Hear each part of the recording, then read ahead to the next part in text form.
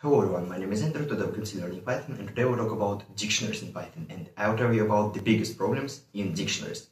That problem is not related to memory because dictionary as a data structure has tons of problems which are connected to the memory, to the to other stuff. So memory is, is the biggest problem in terms of data structure.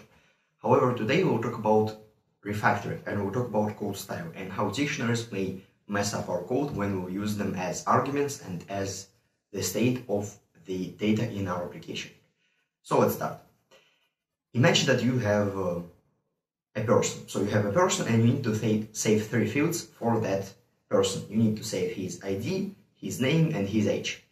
Something like that.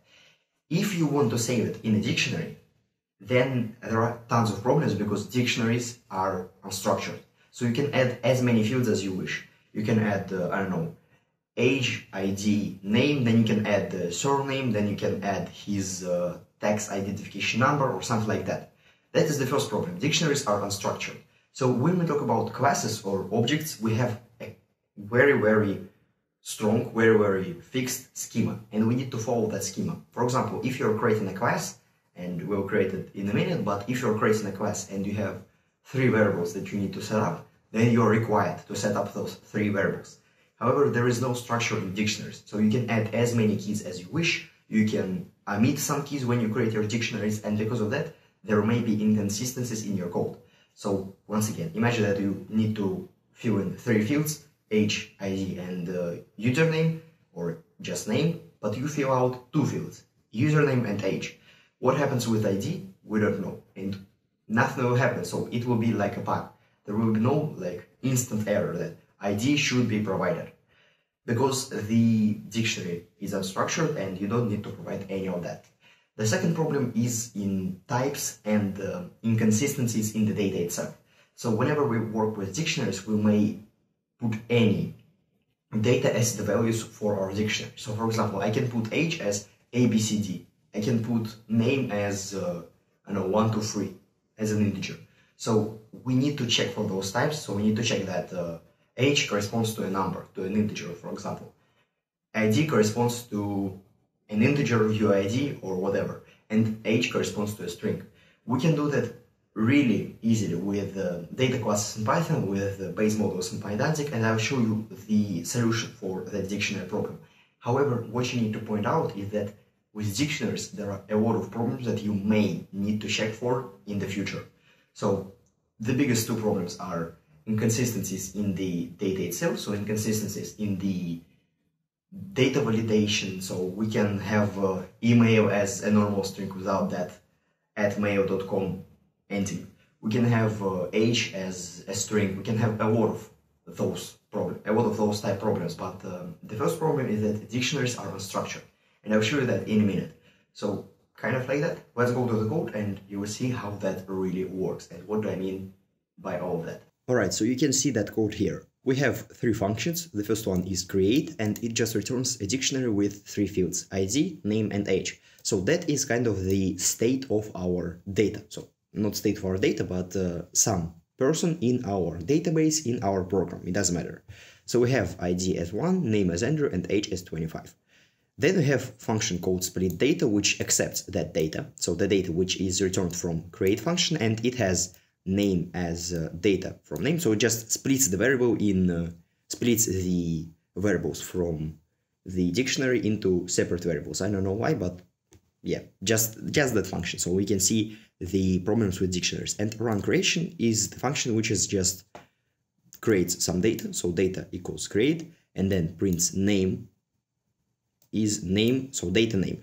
It uh, gets the data from our create function and prints name key and then splits the data, so runs split data from our data.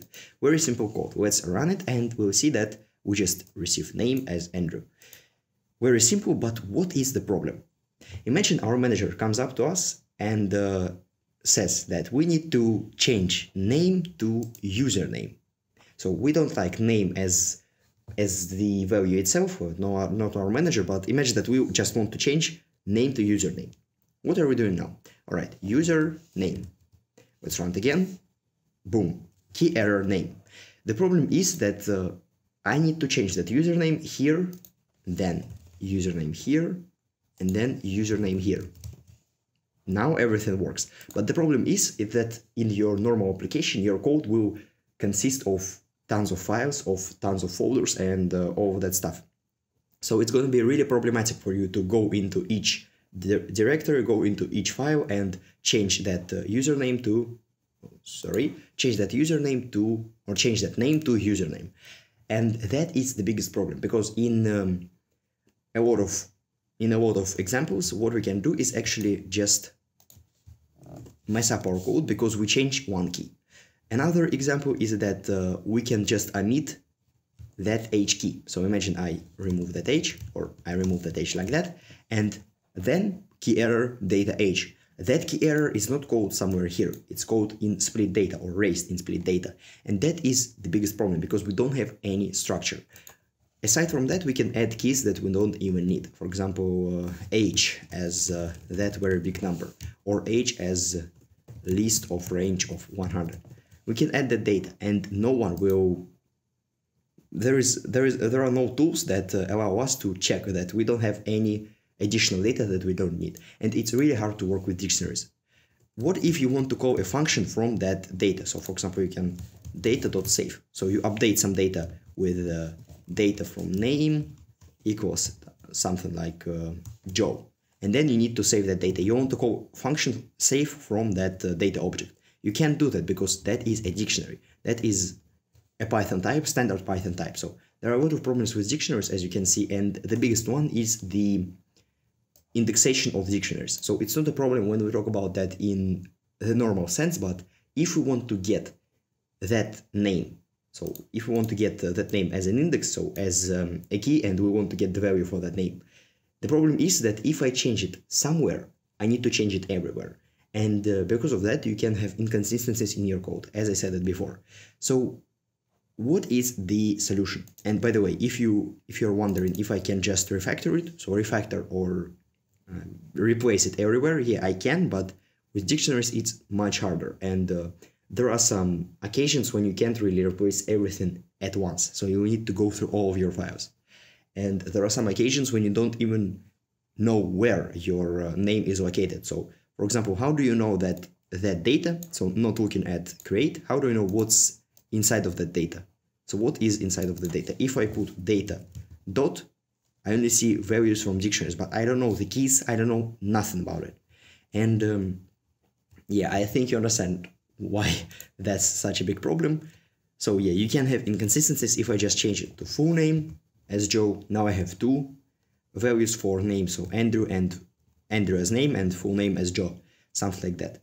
And if you want me to solve that problem is, um, and if you want to solve that problem, you can use data classes. So import data classes, or let's import from data classes import data class.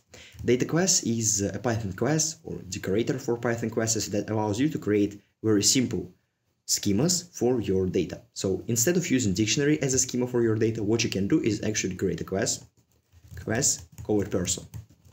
And uh, in normal Python code, what you would do is create ID as something, then name as something, name as uh, name as an empty string, for example, ID as zero, something like that. But in data classes, it's much easier. So what we can do is create a decorator data class and um, parentheses are required. And instead of doing all of that, instead of writing our own inits and all that stuff, what we can do is actually do it like that. ID and then annotation for integer. Name, annotation for string. Age, annotation for an integer. So what does that do? We created a data class called person and um, the data class has three variables inside of it. AD as an integer, so we check for the type. Name as a string, so we check for the type. And age as an integer, we check for the type. As I said before, you can have inconsistencies in your data. So imagine that I just put put uh, age as 25, uh, as string of 25, like that. And then, for example, I do it bigger than 18 in here. So I check, for example, if data age is uh, bigger than 18, then we do something. But in that case, if I have data age as um, as a string of 25, we will have an error. So what's the addition of data class? Why can't we just use it like that? Class person, ID, name, age. The addition of data class are functions that we are normally using whenever we want to work with our classes. So what I want to do when I create a person. When I create a person, I want to immediately supply ID, name, and age inside of that object. If I do it without data class, I need to write my own init, then you know all that stuff. So self name equals to name that is provided, self age equals to age. But why do we need to do that? You have data class. So data class is a really powerful tool. Instead of returning a dictionary, what we can do is return person. And then watch me press Ctrl P and you can see ID integer, name string, and age integer. So what we can do right now is immediately supply the values that we need like that. So person with data class allows us to create our own our own init with uh, all the supplied values without ever writing our own init. So data class is really powerful in that sense.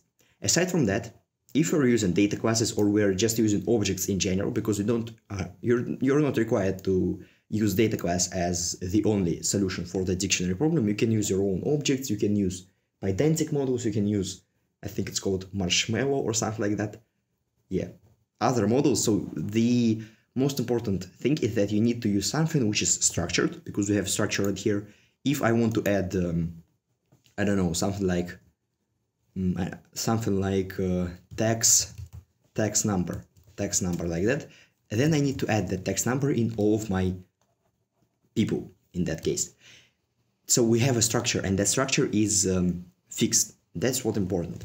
Because with fixed structure, it's easier for you to find bugs in your code. Because now if I put that tax number as an integer, what I need to do is provide the tax number here. I can put default value here, but of course I can put default value, that is better. Aside from that, I can create my own functions, so there are a lot of stuff for you to do in data classes. So the most important stuff is that you need something which is structured. Person is a structured object because we have uh, a list of variables that we need to supply to create that person. Okay, what we can do aside from that is use annotations because annotations was just dict.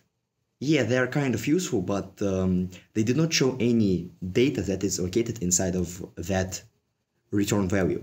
However, when we're using person or when we're using our object, what we can do is actually, so as you can see, it already shows me that there is an error. What we can do when we're using person is actually just know what are the values inside of that data. So data dot, and as you can see, age, name, ID.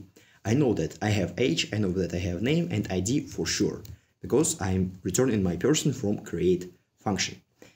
Instead of name as um, name as an index for that dictionary, we can use dot name. And split data, the same goes here. Dot full name, dot name, dot age, dot ID like that. And of course I can provide person here. Alright, so now what's the case here? The case is that we have a very fixed structure and if I want to change name to full name, what I can do is shift F6 and full name here. And as you can see, no problem. Of course, we need to change it here, but uh, even if I run that program like that, we can see that init gone expected keyword name. We don't see like key value error and we don't know why that key value occurred. Again, the biggest problems with dictionaries is that they don't have any structure at all. So I can provide anything that I want inside of any dictionary. But with data classes, with uh, models, what I can do is provide the types, even the types, aside from the fixed list of variables that I are required in my object. If I provide 10 as a string right here, it will not crash. So it will work, but still I can see that there is expected type integer got string instead. So we have type annotations and that is much better. So that's how it works. I think now you know why you should never provide dictionaries as your arguments. So you can do that, but uh, be very careful because it may mess up your code in the future. You need something which requires structure because with structure you can change it easier and you have something to follow. If you have something to follow, then it's easier for you to write your code because if you follow the rules, then you don't break them and everything works really fine. So data is just one of the solutions. You can have other solutions which are in the market, but for now, I think that is the perfect perfect answer for our dictionary problem. So thank you for watching. My name is Andrew. Subscribe to my channel, leave a like, leave a comment, and bye bye.